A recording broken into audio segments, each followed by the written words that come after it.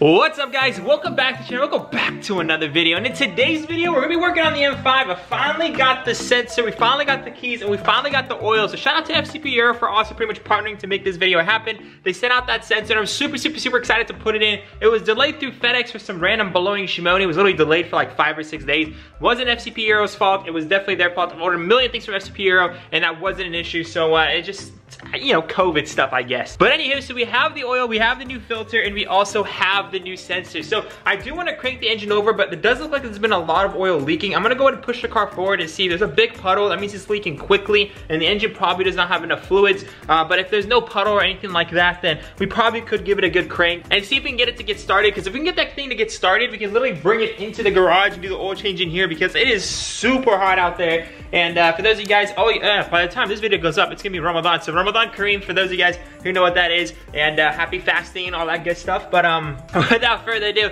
let's go ahead, uh, move the M5 forward and hopefully get this thing to turn over. If it does, might even throw some carbon fiber on this little dude. I meant to say big dude. It's not a little dude. It's a, it's a, it's a, it's a, big V10. So again, guys, if you guys haven't used FCP Euro, it literally they have OEM parts and OE parts. And uh, honestly, they only sell top quality things with lifetime warranty. So if you were to get this sensor from BMW, it would cost you literally the exact same price. Or maybe you can even get it cheaper from FCP Euro and they have lifetime warranty on it. So if it ever goes bad again, you can replace it for absolutely for free. And same goes with their oil too, absolutely crazy. You literally replace the oil. Once your oil goes bad, put it back in the bottle, send it back to them, and they'll send you another one. It's pretty insane. Again, FCP Euro, links down below. Without further ado, let's get into the M5.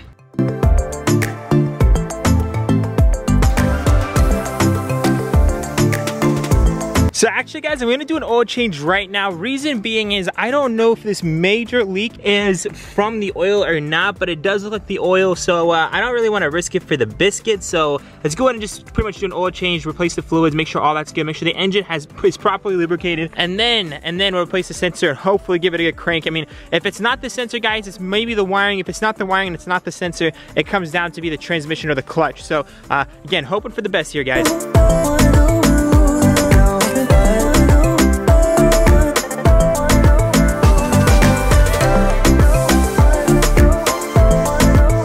All right guys, now that we have two floor jacks there, we got the jack holding it up. We also have a wheel down there just in case things go south. But um, any hoozles, uh, the filter for the oil is actually right here, which is kind of crazy. Not on the top, it's on the bottom, kind of like some Japanese cars. But anywho, uh, let's go and get an oil drain pan and just start draining this. I think I have to drain the screw first, and then you take the whole thing out. So let's go ahead and get into that.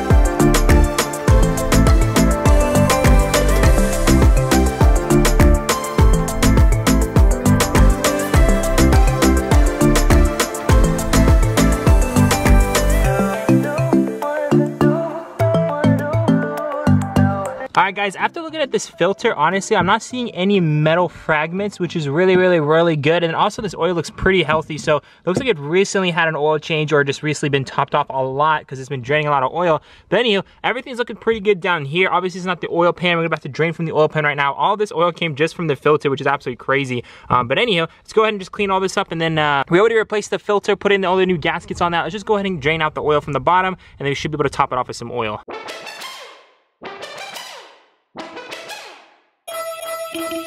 Alright guys, now that we have that drain screw, new washer and everything, that should be good to go at this point. We have the other filter and everything good to go over there. Now before we actually put in oil, I actually do want to replace the sensor while I'm down here as well. Uh, so shout out to Blake for actually getting a hole and actually getting a new screw in there. So now our thing is no longer JB welded, which is perfect. So we're gonna go ahead and just disconnect the sensor real quick.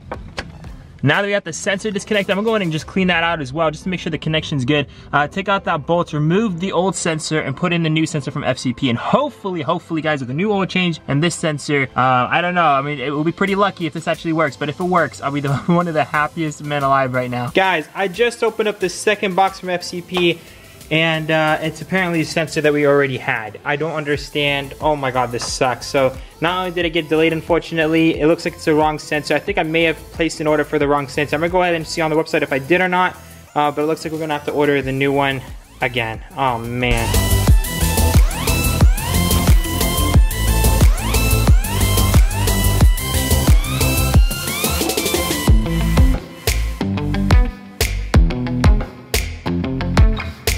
Guys, I put back the same sensor because unfortunately we did get the second the second camshaft sensor that we waited so long to get. It was apparently the wrong one too. So I've never had an issue with that with FCP Euro, but unfortunately it looks like we just got super unlucky once again. And that's why this video is being delayed. So if you guys are asking where's the M5 video, I'm not delaying it on purpose, but I'm waiting on this sensor. This sensor at BMW is $200. I'm not spending $200 on a sensor. That's just not happening. So I've been trying to get it from FCP Euro. It's 122 brand new OEM from FCP plus that lifetime warranty. So if it ever goes bad again, I can send it back. So I'd rather save $80 and get that lifetime warranty than overpay at BMW. So uh, it is what it is, but um, let's go ahead and try to give it a crank and maybe there's something different with the new oil change. Doubt it, but we'll give it a try. Three days later. And guys, a couple days later, we finally got the sensor that we need. This is an OE style, not OEM, but this should just work just as fine. So we finally got the sensor that I need, the crankshaft sensor. Um, I, we did also get the charge pipe. Uh, I went ahead and ordered this thing off of eBay. So we did get the charge pipe with all the flanges and everything for the 135. And we also did get a headlight in. The part that sucked is he didn't package it right. So this tab is actually fine, but this one, which is the one that's most concerning and broken on my other one as well, this one is also broken. So kind of got unlucky here again. Uh, I'm gonna go ahead and see if we can get some kind of refund on this, partial refund or whatever, because it wasn't really packaged the best way. I mean, you should put it probably put it in a better box. This was kind of like boxed to fit the headlight and obviously with anything being thrown around like easily it'll just break it. So kind of sucks but uh, at least we have the headlight. We can put on both headlights, possibly put on the front bumper, put on the sensor and if this all works guys and the car starts up we might even drive over to Sacramento and also get a hood so that'd be pretty awesome. Without further ado let's go ahead and head over to my dad's place so we can start putting this little bad boy in.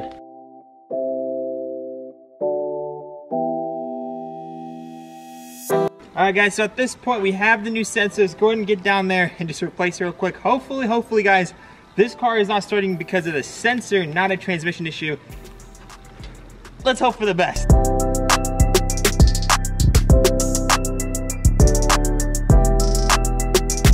Fresh new oil change, check. Sensor, check. Now we just gotta load down the car and uh, put in that battery and hope to God, guys, please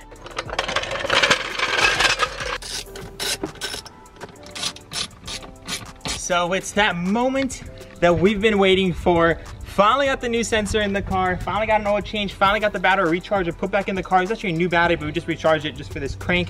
I wanna make sure it has all the juice it needs to be able to crank over. Moment of truth, guys. Dude, I'm stressed. I'm stressed. Either Check new transmission or we're good. Oh man, that's like a 50-50. I, don't, oh, ah, it's just... I don't know, man. All right, well.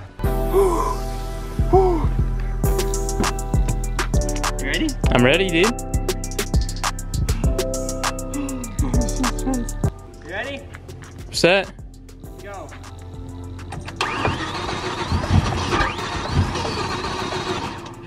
Oh. oh. Guys, that's with a new sensor.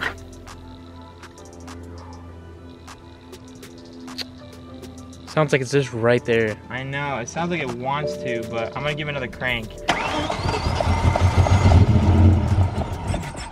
It's right there. It's just right there. Whoa, please just start, dude.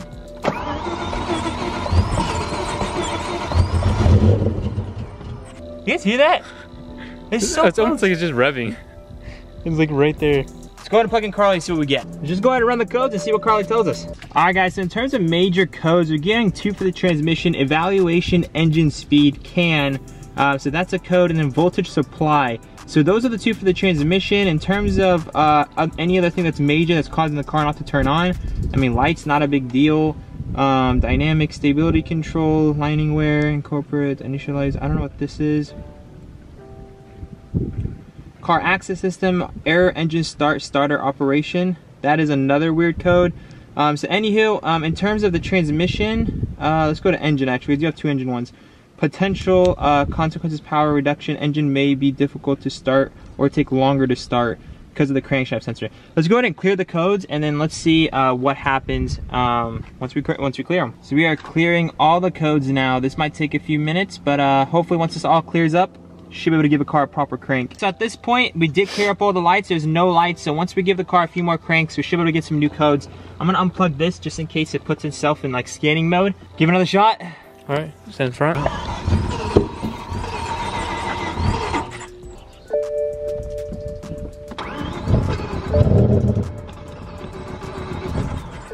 Alright guys, so you're gonna go ahead and rescan the codes. We gave it about five cranks and uh, it literally, like the exhaust kicks in and it sounds like the car starts and it cuts off again.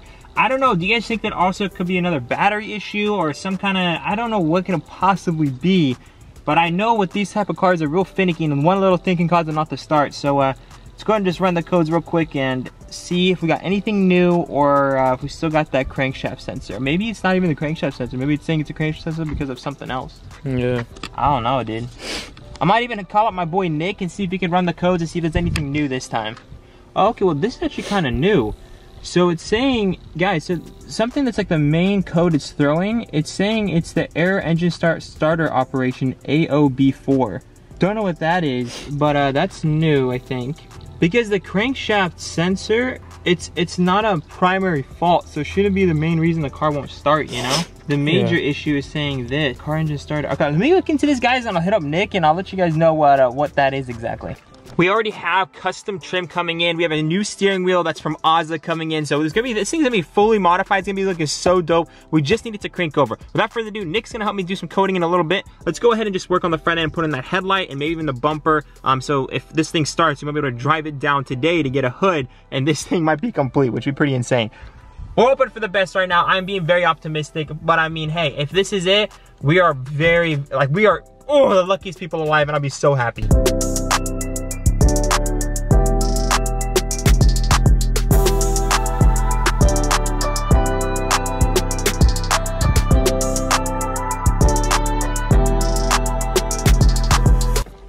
Key in the ignition. That's, that's an issue for another day. Yes, sir. All right.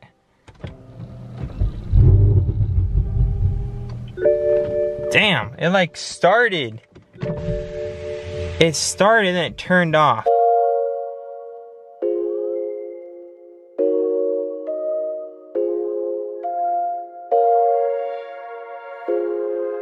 Alright guys, so we pretty much took off everything to the top of the DME and uh, we didn't find any wiring issues here. Everything looks pretty normal to me. Nothing seems to be unplugged other than that one thing right there. But I mean, hmm, Nothing seems like it needs to be connected there, to be honest. All right, guys, so after a couple of days, I literally, the last, like, literally, it's been, this has been like a week and a half in the works. So all you guys have been asking me, what, what's up with the M5? How come you're not uploading?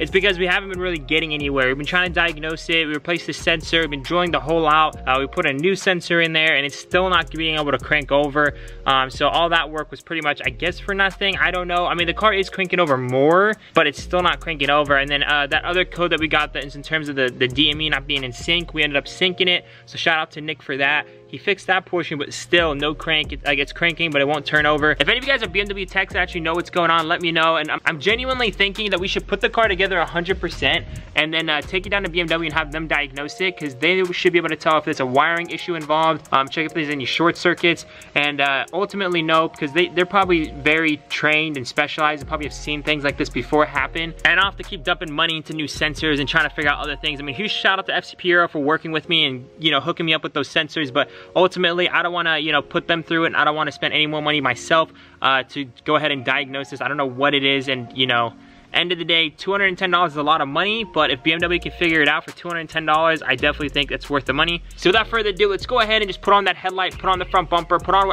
anything else that we could possibly put on, uh, and then probably try to go find a hood, fix some other things on the side skirts, because there's some nails sticking out of the side skirts. I'll show you guys all that. But um, let's just go ahead and make this M5 at least look like a clean title, so when we take it into BMW, they won't question it. and also, it is a clean title, so they can't deny it. So, so first things first, guys, we did get this headlight pretty much lined up. Uh, this fender does need to get pushed in a little bit underneath the headlight. Not a big deal there. Uh, it's all lined up pretty good here. This side right here, um, the headlight's not lining up that great, so I need to figure out what's going on with that, and then we'll line this up. So here's the before, guys, and I guess I'll cut back to you on a little bit once I get this side lined up. We just got in this second headlight in. Uh, it is also missing the tab up here. It's not perfectly gapped out and everything, but honestly, uh, it's whatever, to be honest. And uh, the gaskets on the headlight as well is not really looking too good. I'm probably gonna have this whole side fender repainted, that fender fixed and repainted. But right now, it's just plugging this bumper and the PDC and at least make this thing look a lot better than, uh, than it, when it came in.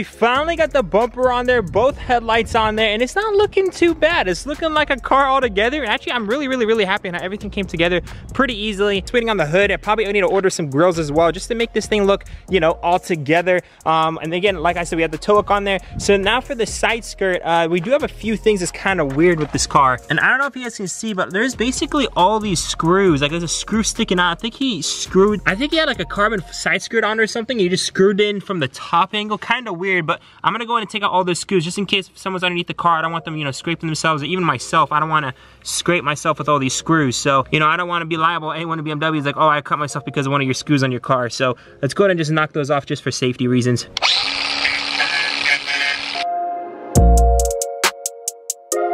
So at this point, unfortunately, um, we're not gonna be able to fix the car today. And I know a lot of you guys probably wanted to see the car start up, but uh, it is what it is. In the meantime, I'm pretty much gonna be looking out for a hood. As soon as we get a hood, I'm gonna try put on the hood and the trunk onto the M5 and then probably get a tow down to BMW. Hopefully that's the next video. So I'm gonna try to find a hood. Uh, we have a trunk for it, a carbon fiber one. So I'm gonna put on the trunk, put on the hood, take it out of BMW for a diagnostic, and hopefully when it's all been put together and they diagnose the car and they figure it out, that'd be absolutely amazing. We can get it back, take it to the body shop, perfect it, and then continue off with the mods. But obviously we need the car to start before anything. So I'll keep you guys posted. But uh, as for the meantime, that's pretty much concludes the video. So without further ado guys, I love y'all so much. Remember to stay humble. I'll see you guys in the next one. Peace out.